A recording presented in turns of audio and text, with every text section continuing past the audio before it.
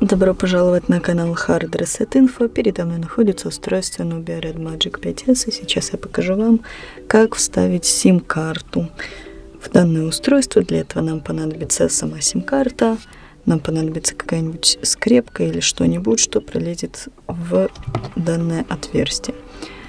Э, итак, берем скрепку, вставляем ее сюда, немножечко придавливаем и таким... Ой, придавливаем немножечко. И таким образом достаем вот эту штуковину для сим-карты. И здесь у нас можно ставить две симки, но мы ставим одну, потому что у меня только одна. Вот, вставляем. И вставляем обратно в устройство.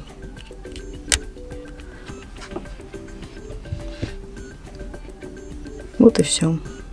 На этом мы можем закончить. Спасибо за просмотр, ставьте лайки и подписывайтесь на наш канал.